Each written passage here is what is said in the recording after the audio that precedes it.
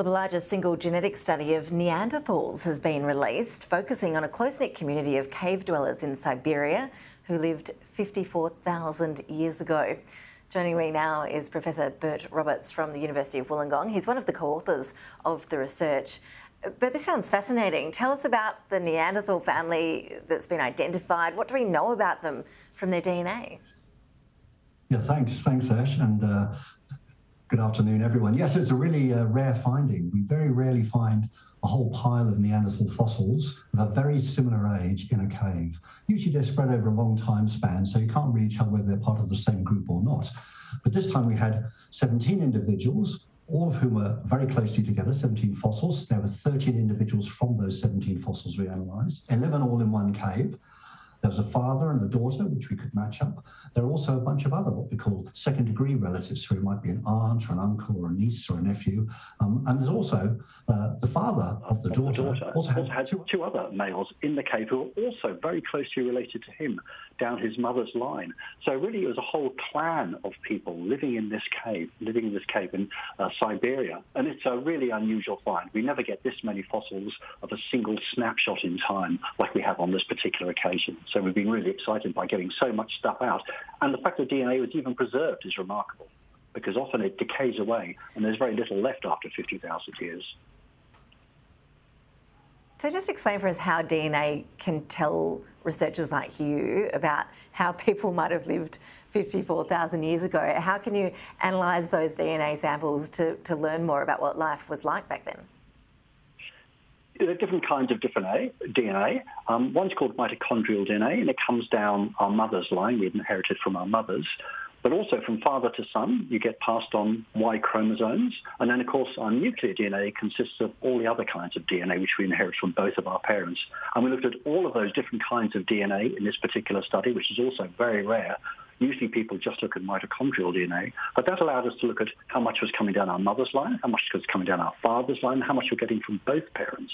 And one of the interesting things we did find amongst several was that there's much more diversity in the mitochondrial DNA. In other words, on the female side rather than on the male side, which suggests that the men stayed in the cave while the females migrated to and from the cave from different communities. So it's really, really what we call a patrilocal community, the men stayed at home and the women moved around from one community to the other. But it was a very small community, maybe only 10 or 20 people. So we are on the far eastern edge of what we know that Neanderthals extended into. We know they went that far in Siberia. We don't know if they went any further. So this is really the eastern edge of the range of Neanderthals.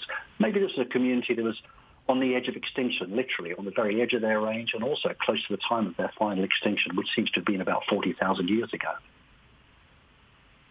And in terms of this group of people, can we tell how they died and, and how old they might have been at death? We can't. Um, many of them are adults. Like I say, we do have a child who is a teenager. There are probably many other uh, family members actually in that cave. We've only analysed about a quarter of the remains so far. So if we analyse the remaining three quarters of the Neanderthal remains, we might find there's many more family members, including many more younger members of the family. Why they died, that's still an open question. It could have been an incredibly cold storm that came through and wiped them out, or maybe a disease. We simply don't know at this point. But the fact that there are so many family members who went extinct at one point in time does suggest some kind of calamity uh, that unfortunately you know, knocked the ball out. It itself is just a hunting camp. It's somewhere they use to set themselves up to hunt bison, horses, and it's a perfectly positioned cave just above a river, and you can see all the local floodplains around all the rivers, so you can see all the bison herds coming in if that's what you want to hunt. So it's a perfectly situated cave to actually do hunting, but why they went extinct at the end, we really don't know at the moment. So, what part of the body do those actual DNA fragments come from when you talk about these these fossils? And how does that all fit in with coming up with a, a timestamp for all of this? How do we know that it was 54,000 years ago that these people we're talking about were living? Yes, the 54,000 date comes from dating the sediments in which the fossils are found. Um, we actually get very similar genetic dates from the, uh, from the fossils themselves, which consist of teeth, mostly teeth and some bones as well. So the DNA is contained in both of those. Uh, 17 pieces were analysed, uh, and they give a similar sort of age of about 60,000 years from the genetic clock, which is a rather more elaborate way of trying to work out the age. It's got larger uncertainties on it than dating the sediments themselves. Uh, but we couldn't say at 54,000 years whether people have lived there for 100 years or 1,000 years. But the fact that there's so many family members and some very odd little changes in the mitochondrial DNA that actually disappear after about three generations. So it really wouldn't hang around for very long.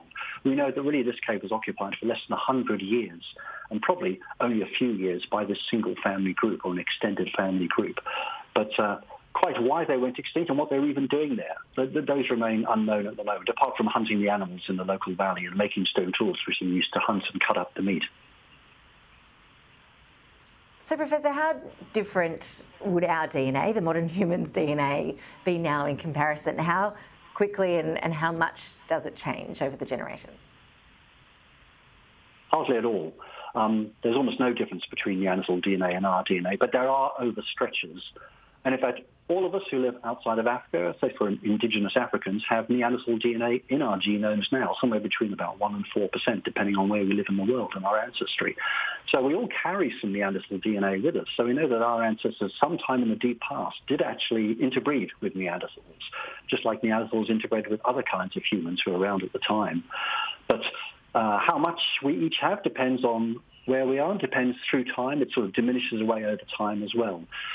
So the differences between us and Neanderthals are actually decreasing over time, actually becoming more and more similar to Neanderthals. And the behavior of Neanderthals is also very similar. They had families, they made all the same stone tools, they were painting rock art, they were doing many of the same things that our ancestors were doing at the same point in time. So there's almost no difference actually between us and Neanderthals now quite why they went extinct is another really interesting question that there's still no consensus on among scientists. It could be a whole bunch of reasons, but I think the most likely one at the moment is that we had a slight advantage in terms of the tools we were using and the way we were doing things. We had slightly larger community sizes, and maybe that gave us a slight competitive advantage, and that's all it needed over thousands of years to give us that slight competitive advantage and push Neanderthals to the end of their range and beyond it until eventually they went extinct, leaving behind just a few traces of their DNA in us today. Professor Bert Roberts, wonderful to hear about your research. Really appreciate you taking the time to share it with us. Thank you. Thank you very much.